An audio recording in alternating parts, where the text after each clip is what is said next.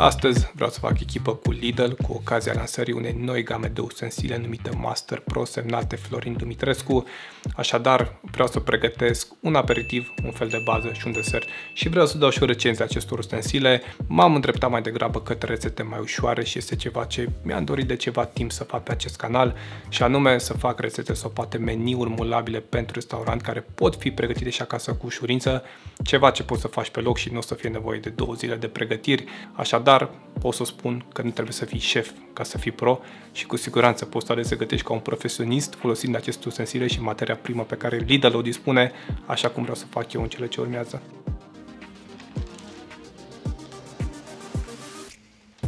În legătură cu aceste produse, cu acest set, ca să profiți cât mai bine de ofertă, în perioada 3 a 4 și 30 a 4 pentru fiecare 30 de lei cheltuiți în Lidl, o să primești un punct în aplicația Lidl Plus. Pur și simplu trebuie doar scanat acest cod la casa de marcat, iar cu 10 puncte acumulate poți profita de o reducere de 45% la unul din aceste produse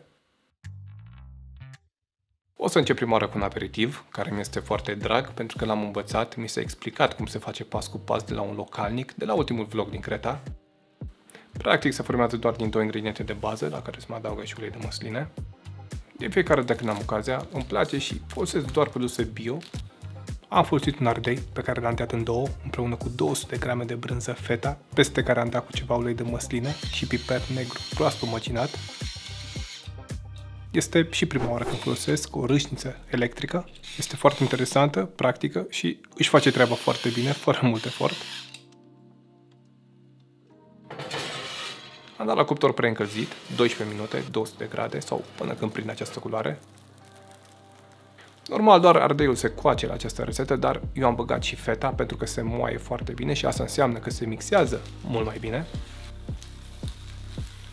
Am acoperit cu o hârtie de copt trecută prin apă rece, vreme de 5 minute. Pe lângă că se va răci puțin, se va și muia coaja ardeiului, care poate fi îndepărtată mai ușor. Am băgat aceste două ingrediente într-o cupă și am continuat condimentarea. Poate fi cât de picant dorești, eu am adăugat doar câțiva fulgi de chili. Poia afumată, cât vezi în imagine, undeva la 2-3 grame. Uleiul de măsline va lega și va ajuta și gustul, undeva la 30-40 de ml. Interesant este faptul că uleiul este chiar din zona de unde am învățat această rețetă, acest aperitiv, așa că gustul și mirosul este exact acel autentic. Am folosit blenderul de mână pentru această mixare. Se echilibrează gustul cu zeamă de lămâie, am aducat o lingură, Puterea sau viteza acestui mixer poate fi setată și manual sau poate adaptată gradual din partea de sus a acestuia. Fiindcă este fierbinte, este și moale, trebuie tempera puțin. Dacă stă, de exemplu, peste noapte în frigider, se va întări mai mult decât este nevoie și trebuie lăsat iarăși la temperatura camerei. Cam așa trebuie să arate la final, ca și consistență. Normal se pune într-un bol mic, dar eu am ales să-l modelez ca în humus. Am presărat cu puțină boia afumată. Uleiul verde este foarte folosit, foarte comun în restaurante. L-am folosit la aperitiv și vreau să folosesc și la felul de bază. Tot timpul am apreciat partea de panificație de la Lidl. Pâinea mea preferată este pâinea campionului și această pâine țărănească cu cartofi. Cam asta a fost cu aperitivul, toate ingredientele și toate detaliile le veți găsi de asemenea și în cutia de descriere. Uleiul verde de pătrunjel se face foarte ușor și destul de repede aș putea spune. Hai să arăt cum îl fac eu. Am avut nevoie de 4 legături de pătrunjel și am folosit doar partea cu frunzele. Urmează blanșarea, care este și necesară. Am făcut o vreme de 30 de secunde. Imediat după am băgat în apă rece pentru a opri grătirea. Normal o fac pentru a păstra culoarea verde și a nu se oxida, plus că se păstrează gustul, de asemenea și proprietățile. Am scurs excesul de apă în mână și am mutat în cupă. Am continuat cu 100 de ml de ulei de măsline. Am pus în funcțiune mixerul vertical vreme de câteva minute până când a ieșit așa. Am folosit două site fine, una sub cealaltă. Nu am amestecat, am stat așa cum este, să fie o scurgere cât mai lentă. Cam asta trebuie să fie, uleiul verde de pătrunjel, care sunt sigur că le-ai mai întâlnit în restaurante, Ca și fel de bază m-am gândit la mai multe lucruri, am avut mai multe idei, dar m-am rezumat la ceva simplu, gustos și arătos dacă se poate. Am făcut un piept de rață împreună cu un piure de conopidă cu parmezan și sos de vin roșu, împreună cu uleiul verde pe care l-ai văzut mai devreme. Pieptul de rață normal se tratează ca mușchiul de vită, deci nu se pune din frigider direct în tigaie. Întâi de toate trebuie lăsat la temperatura camerei. Partea de grăsime obișnuiesc tot timpul să o crestez.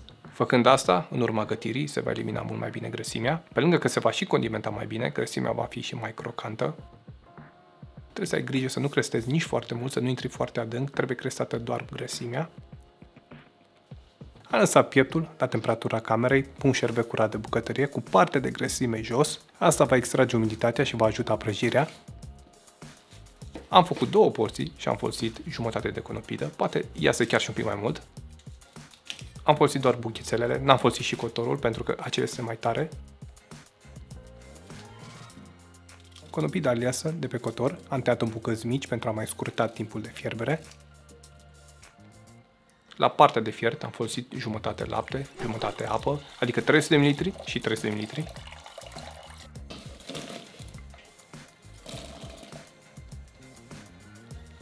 Au urmat ceva sare, dar nu foarte mult, pentru că și parmezan este sărat. După 20, poate 25 de minute, conopida trebuie să fie pătrunsă. Mi-am dat seama de asta la testul cu furculița. Am separat tot lichidul și o să folosesc doar cât este nevoie. Conopida o să rețină destul de mult lichid, așa se întâmplă și nu o să mai fie nevoie de foarte mult. Așadar am băgat conopida într-o cupă, fără lichid, cu puțin parmezan, undeva la o lingură sau o mână, cum vrei tu. Doar după ce s-a amestecat bine, îmi dau seama că mai este nevoie de puțin lichid, dar nu foarte mult. Probabil am mai băgat un total de 3, poate 4 linguri maxim. Acum că piureul este gata, doar acum apuc de rață să am totul la mână. Am condimentat cu sare, dar nu foarte mult pentru că vreau să fac sosul în aceeași tigaie. Am dat și cu ceva piper proaspăt măcinat. Am așteptat rața în tigaie cu grăsimea jos, cred că este și singura carne unde se începe gătirea într-o tigaie neîncinsă.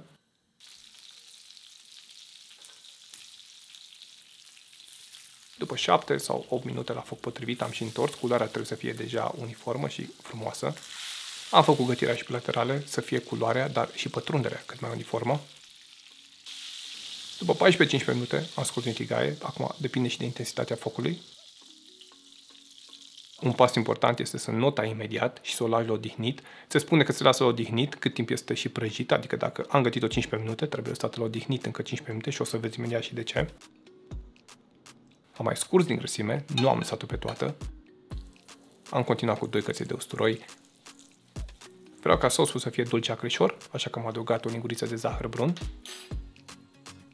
Am adăugat și două linguri de oțet balsamic. Are un anume gust când este redus și eu zic că ajută sosul. Imediat după am continuat cu 170, maxim 200 ml de vin roșu sec. Un vin de calitate va ajuta și textura la final, asta trebuie să ieși în calcul.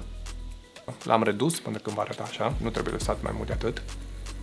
Cu siguranță la sosul de vin se mai pot adăuga multe ingrediente, se mai poate adăuga și ceapă, poate ceva aromat, cum este un rozmarin sau poate un cimbrișor, poate și puțină supă din oase coapte de vită, dar asta ar însemna alte câteva ore și alte pregătiri.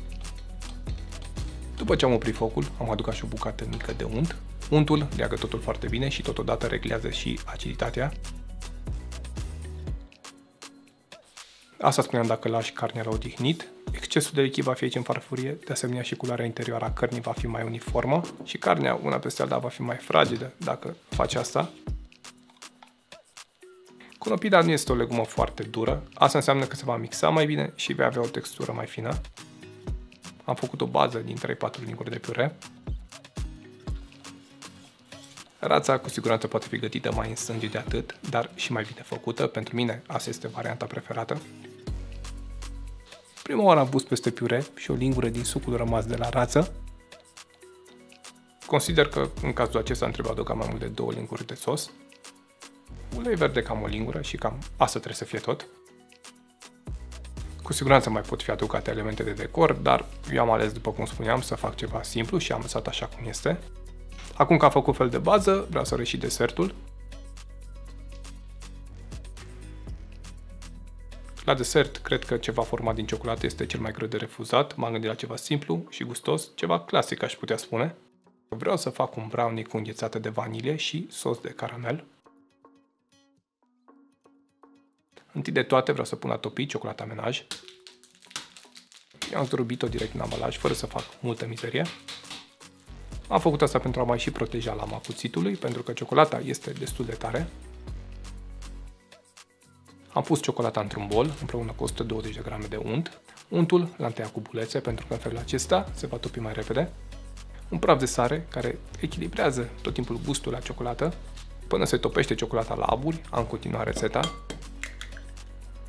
Într-un bol am spart 3 ouă,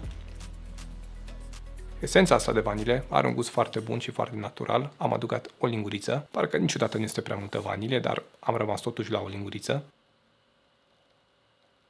Am adăugat 90 de grame de zahăr brun. N-aș face mai dulce de atât pentru că o să urmeze și caramelul, de asemenea și înghețata este și a dulce. Nu se mixează mult în acest punct, doar un minut pentru omogenizare. Ciocolata s-a topit destul de repede și foarte bine, asta cred că se poate și vedea. Am încorporat treptat și ciocolata topită. Am continuat cu 65 de grame de făină albă 3.0 împreună cu linguriță de cacao neîndulcită. Asta pentru a mai intensifica puțin gustul de ciocolată. Ambele le-am trecut prin sită pentru a fi cât mai fine. De data asta n-am mai folosit mixerul, am folosit o paletă. Asta pentru că glutenul nu trebuie dezvoltat foarte mult, trebuie doar încorporat în acest punct. Am așezat uniform, de o parte și de alta, hârtie de copt. Dacă hârtia nu este așezată bine și este crepunată, asta se va vedea la final. Acum nu rămâne decât să dau la cuptor.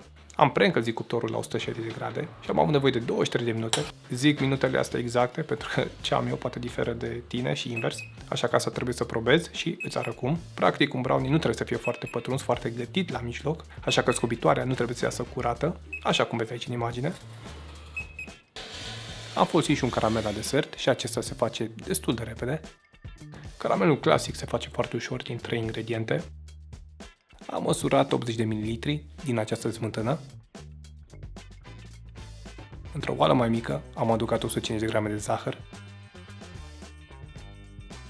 Am adăugat și 30 de ml de apă, cât vezi aici în imagine. Apa va asigura o caramelizare mai uniformă nu se amestecă deloc. De când am băgat apă, nu am amestecat deloc pentru a evita cristalizarea. Am început să mișc recipientul doar la primele semne de culoare. Culoarea se va schimba foarte repede de acum, așa că trebuie să fii atent. Focul trebuie neapărat să fie mic în acest punct. Aceasta este și culoarea finală. Mai mult de atât și este posibil să devină amărui. Am luat puțin de pe foc și am adăugat frișca neîndulcită. Am mai dat încă un clocot, timp în care am și amestecat, pentru a mă asigura că este totul topit. Untul este ultimul ingredient, 50 de grame. Am amestecat și cutelul, una peste alta la final, așa trebuie să fie. După frigider poate să va mai întări un pic, pentru a deveni iarăși curgător, poate fi puțin încălzit. Cam asta trebuie să fie, acum putem merge mai departe. Doar după ce s-a răcit complet am scos din tavă direct pe tocător, am luat folia jos cu atenție și mie mi-au ieșit 6 porții de aici, după ce am tăiat, cuțitul nu a ieșit curat, este un semn bun, asta înseamnă că ciocolata este mai moale la mijloc. În principiu un brownie nu trebuie să fie foarte gătit, adică trebuie să fie mai moale la mijloc, mai îndesat, așa cum vezi aici în imagine.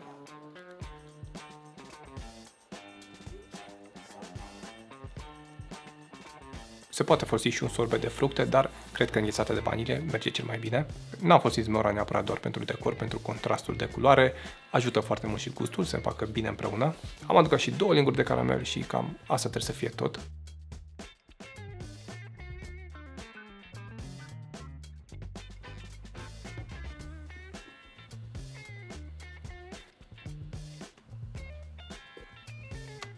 Am ca și părere, ca și recenzie pe care pot să dau eu. Cred că nu este decât corect să judeci în raport cu prețul, ce plătești și ce primești, pentru că nu poți să compari un cuțit de 1000 de euro cu altul de 100 de ron, trebuie tot timpul să judeci după ce plătești și rând pe rând, dacă ar fi să judec toate ustensilele astea de aici, toate justifică prețul și eu zic că sunt chiar și de o calitate bună pentru ce plătești.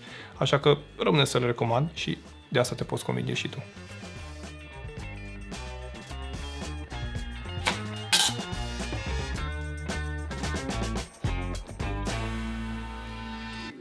Asta a fost să fie tot, acesta a fost și meniul pe care l-am ales cu această gamă Master Pro semnată șef Florin Dumitrescu.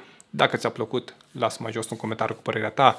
Alex Bastrabă mă numesc, te salut și te aștept cu drag la următoarea rețetă.